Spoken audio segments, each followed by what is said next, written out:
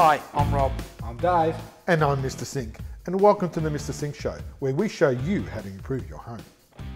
On today's show, we're talking about toilets, Don't you mean dunnies? uh, how to replace your old one. And what to look for when buying a new one. And where that waste goes. We'll also be interviewing a master plumber about his tricks of the trade, and we'll also have some handy tips for you. Great. Let's get started. Okay, so here we have the toilet. Um, as you can see, it's, it's a little out of date. Um, it is an old colour. It has a larger cistern, which um, I guess is going to use a lot more water than most of your new ones. Uh, the, the owners of the home would rather something a little bit more compact than that one there. This has a large cistern. Um, the owners have also asked for something which is easier to clean. You'll see around the back over here, um, there's a bit of a dust trap around there. So we're going to look for something which is environmentally friendly with the use of water, better colour, obviously, something more compact and easier to clean. So, Mr. Sink, can you help us with this?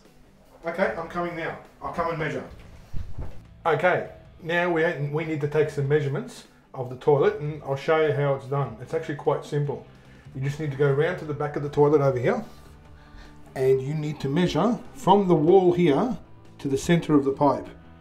So I'm going to measure that right now. And okay, I've got my measurement. And now that I have my measurement, I need to check where the inlet valve, sorry, the um, the water supply is to make sure that it's in a position. It's okay for the toilet because the new toilets now are slightly different. So that's okay there. Now that I have those measurements, I can now go shopping. So, Rob, let's go shopping. Okay, let's go. Okay, so we're here now. Let's um, choose a toilet. It's called the Dunny here in Australia. Well, we used to call it Thunderbox. Okay. Okay, so where do we start? Okay, now from the measurements, the only two that are going to fit is this one and this one. Okay, so what would be the basic differences between these? Okay, well, the main difference is uh, shape um, and design. And this one here has a ceramic toilet cistern. Um, also has a nice soft closing lid. Okay, so it's probably not as good looking as this one here. Well, the difference between this one is this has also got the soft closing lid. It's also got the ceramic uh, cistern, but the bowl sits right up against the wall, which makes it really easy to keep clean. okay. One thing I remember, the pipe comes from the floor, doesn't it? That's right. Okay, so they both got that from the floor? That's right. What's That's that called again? It's called S trap, Okay. And the one from the wall is a P trap. ah, Petra. So, yes, th- these two will fit. And I also remember you mentioning that she wanted something that was easy to keep clean, correct? That's what lady of the house is a bit of a clean freak, so she wants something that's easy to keep clean. So this one here actually goes right up against the wall, which I'm sure she's going to love. And check that out. Oh wow, look at that. That's That's a good idea. yeah, makes it easier for keeping clean. It's uh, you can take it outside, hose it down, and whatnot. You can also get around the hinges and clean as well. And to put it back on, it's just a click like that. Good idea. And it's also pretty comfy too. Ah, I just need a newspaper.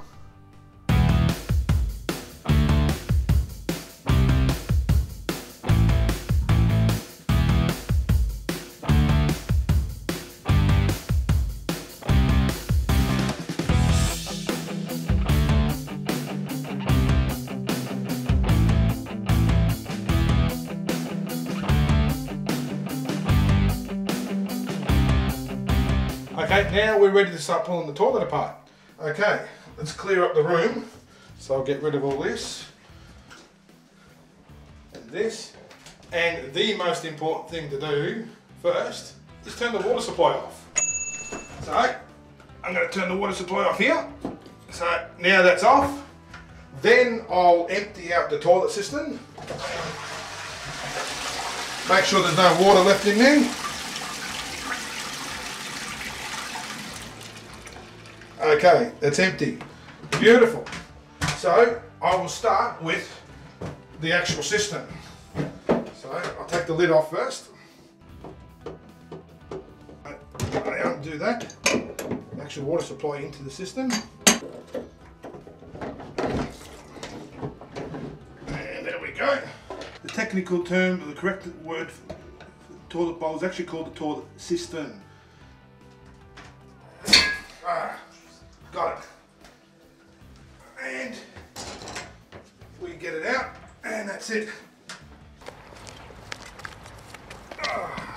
Hey, what are you doing? What are you doing? We don't leave it on the nature strip. You got to dispose of it properly. Mr. Sink.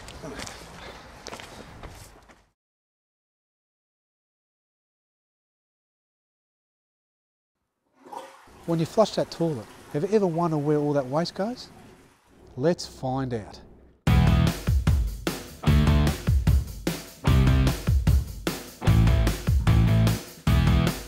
So we're here at Melbourne Water, and here we've got uh, someone who's going to take us on a tour today. Brad, my name's Dave. Dave, pleased to meet you. Mr. Sink, Mr. Sink, Brad, pleased to meet you. welcome to the show. Rob. Rob, pleased to meet you, Rob. So today um, on tour, uh, what do we expect to, to learn? Uh, so, so the tour is really about saying when you flush your toilet and, and, and send your sewage to Western Treatment Plant, how it gets treated, what we do from a treatment point of view to take it through and turn it into clean water. This, this is the start of the treatment plant. So you flushed your toilet um, in, your, in your house in Melbourne. About eight, about eight hours later, it arrives here at Western Treatment Plant. As you can see from the sewage, the sewage is mostly water. It's the water from your toilet, it's from the kitchen sink, from the laundry, from your shower, and it's also water from the, major industrial activity around Melbourne. What comes in is 99.5% water and half a percent, half a percent solids.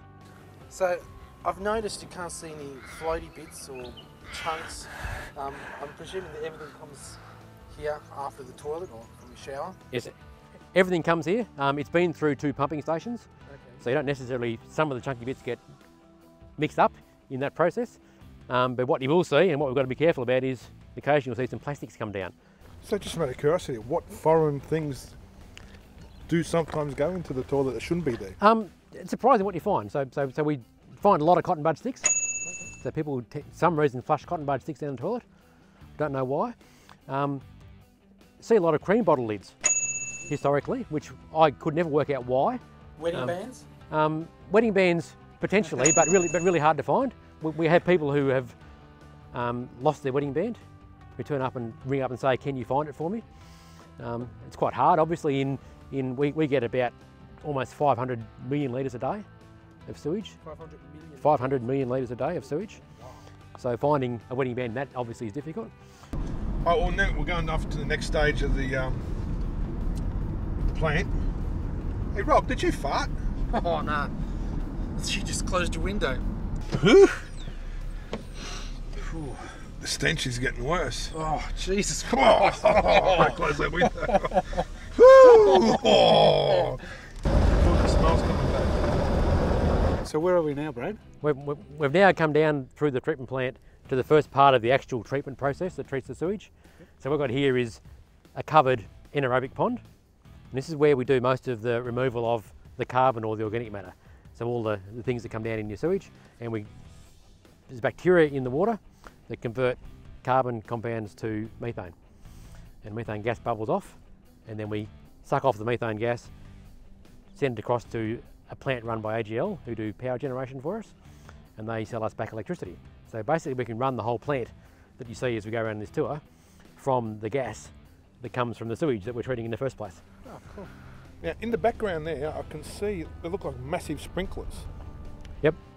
So, so, so, so they're, they're aerators, Okay. which is like, I, I describe them like a big Bamix. So you got you know, your stab mixer. Yep. So put it in the water, water sprays out. That's basically the same thing, doing, doing an aeration job. That's throwing the water through the air, mm-hmm. gets oxygen into the water. So after we've done our anaerobic process and done, there's a limit to how much you can remove and capture as methane. Mm-hmm. Once you've done all that work, the next job is to then get rid of the odour. So we go into an aerated process which adds oxygen to the water and rather than producing hydrogen sulfide, it then stays as sulfate and stays dissolved in the water. So that, oh, gets, that controls the odour from that part of the process. I need to find out what that noise is. I'll have to ask Brad later. Can you hear that, Mr. Sink?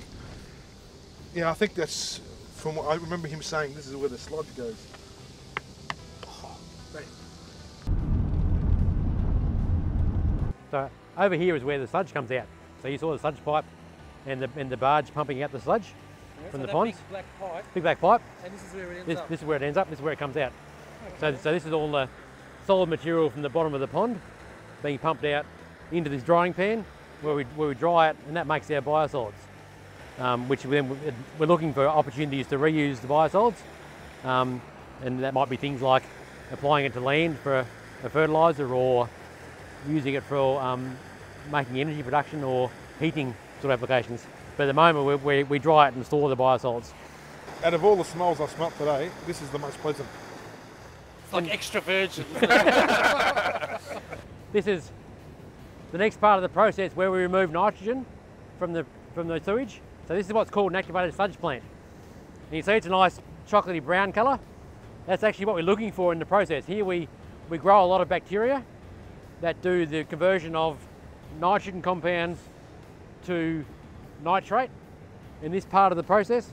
And over here the nitrate turns into nitrogen gas and bubbles into the air. I'm, I'm just looking at it. It reminds me of a movie I saw once called Charlie and the Chocolate Factory. Or, or in my terms, just like a chocolate milkshake, only crunchy. so we've, now got to the end of the process. So it's been through the 10 ponds. We've seen the bit where made, we made biogas from the carbon. We've seen the bit where we made nitrogen uh, gas from the nitrogen in the water and got that out of the water. Now we've, the last ponds are about removing the bacteria and viruses from the water. So here is the end product that we produced. Um, a lot different to what it looked like when it started. It looks crystal clear. It's, it's beautiful water. I- Is, is the water safe? Uh, it's safe for the right purpose. So this water we use for recycled water irrigation onto our farming land on the property. We also take some and recycle it and use it for the market gardens in Werribee South that has some more treatment with ultraviolet light and with chlorine to make sure it's safe for contact with food crops. Um, and what's left gets discharged into Port Phillip Bay. And, and it's, so the water's suitable for each of those purposes. Thank you, Brad. Appreciate Pleasure. it today. No, it's been, I've, I've had fun. It gives me a whole different insight of what sewage is all about now. I actually thought that um, all the sewage water going into Port Phillip Bay was all contaminated water. So what I heard and hit, what I heard and thought has all been wrong. So And- Thank you very and- much. And I I think it's what a lot of people to come away with is, is that sewage is not the waste that you throw away. It's actually a resource that we use for a lot of things. And, and that's, that's how we see our role is about how do we make the most out of what otherwise for Melbourne is a waste product.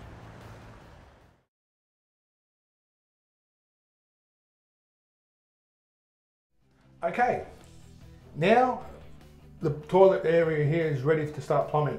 So I'm going to start plumbing and put the new toilet in. Okay, Uh, Mr. Sink, yes, Matt. uh, question. Yeah. Uh, Are you a licensed plumber? Oh, yeah, I forgot.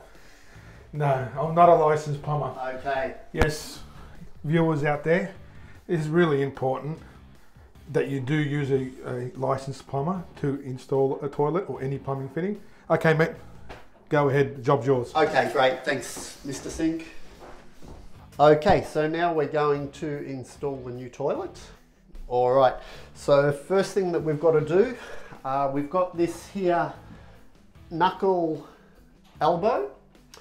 Uh, now this goes directly in the pipe, in there. So we're going to have to cut this here pan collar off. We don't need that.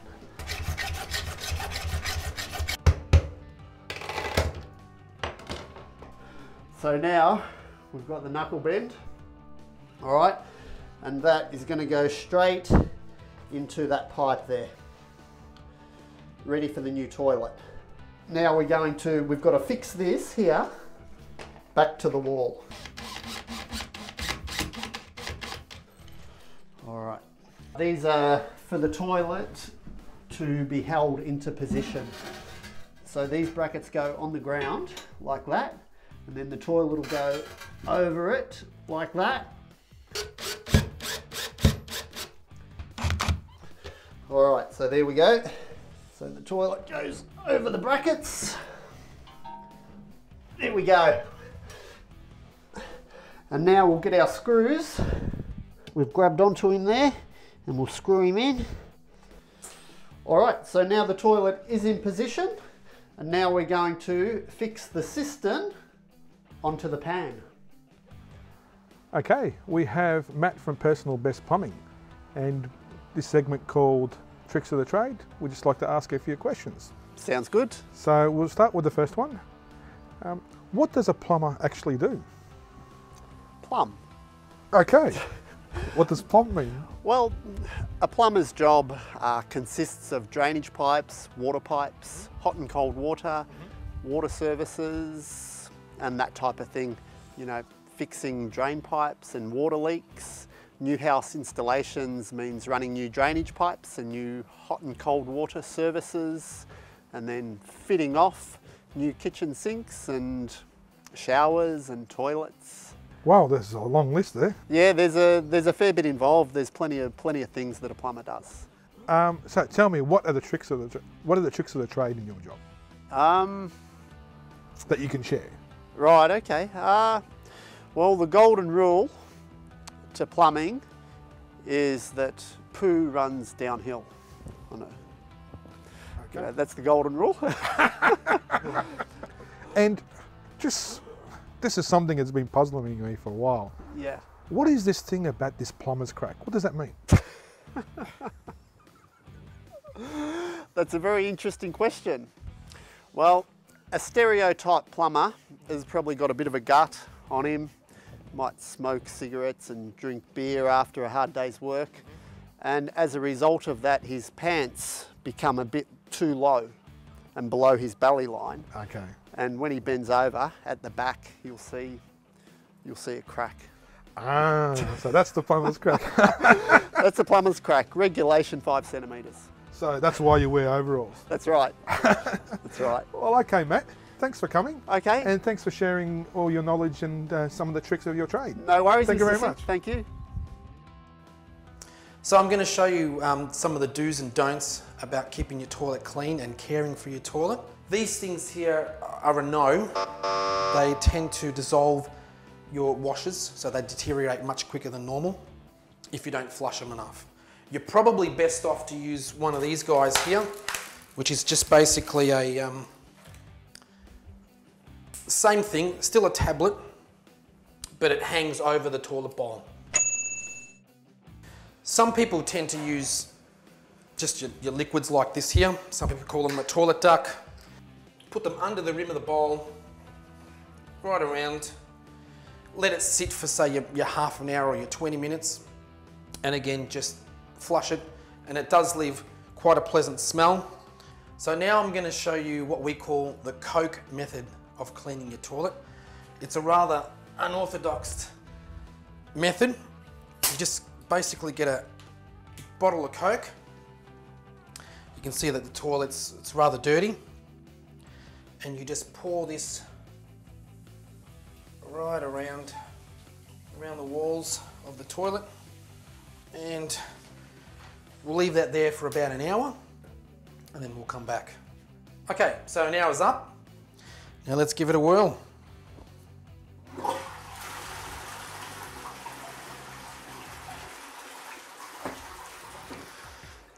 Mmm, not bad. Looks pretty clean to me. Now there is another method, which um, as you, if you want to have a look inside this bowl, there is what we call a skid mark, thanks to Mr. Sink. Basically, the, the way to, to clean that up without too much effort is to just basically get a napkin, paper napkin like this, drain it with, with vinegar,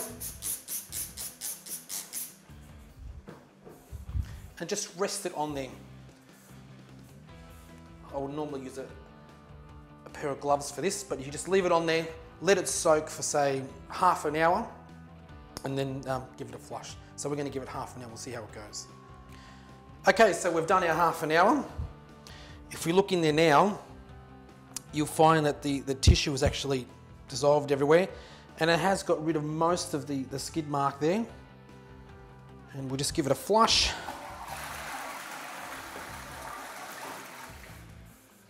Not bad. I think it's done a good job. There is another thing that people do neglect about their toilet. It's their toilet brush. As you can see, this one here has had better days and it's quite gunky. So I'm going to show you how to clean this and how to keep it clean. So basically, you just like to keep, I mean, I'm, I'm just using a, um, a milk bottle, just cut up from the top, and you'll just fill that with, with a bleach.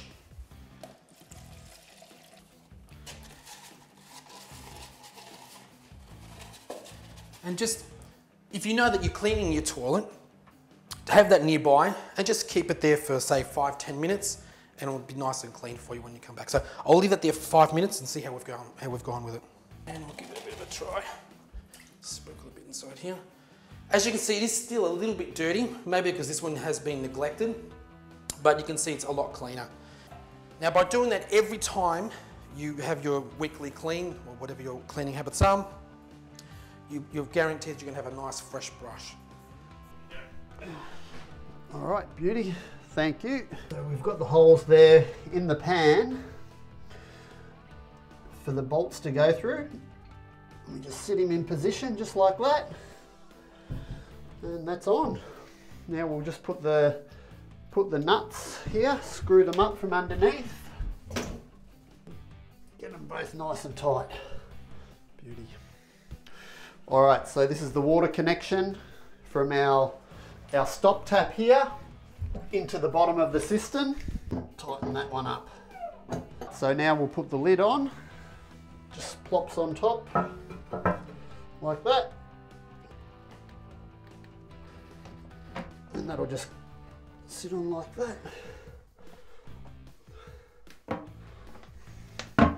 So now the toilet has been installed and we've got the water connected. We're going to turn the water back on and fill her up and give her a flush.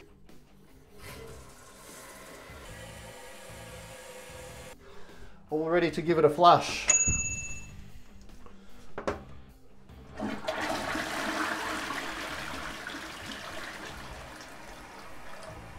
And that's it. It's complete. Okay, thank you, Matt. See you next time on the Mr. Sink Show. No worries, Mr. Sink. Now you're going to have to get out of the way because uh, I need to break in the toilet. Okay, I'm out of here. So there you have it. We've learnt a lot about toilets. and poo too. And where it all goes. Next time on the Mr. Sink Show, we're going to learn about showers. And this could be a tricky task. Now, look, we'd love to hear from you. So if you have any questions about today's show or any future projects that you may have, you can contact us on our website on www.mrsinktv.com.au. We hope you enjoyed today's show and See you next time. Hi, I'm Rob. I'm Dave. and I must I'm a, Dumbass. All right. we hope you enjoyed the show and see, See you you next later. time. what happened? See you later. It looks it, it just looks wrong. Now you know when you make Milo and the Milo gets stuck on the top. It looks like- crap comes from the word crapper. And uh, the inventor of the WC, the water closet, which we now call the toilet, his name was Thomas Crapper. And uh, that's where the word comes from. So when you think about having a crap, you know where the word come from.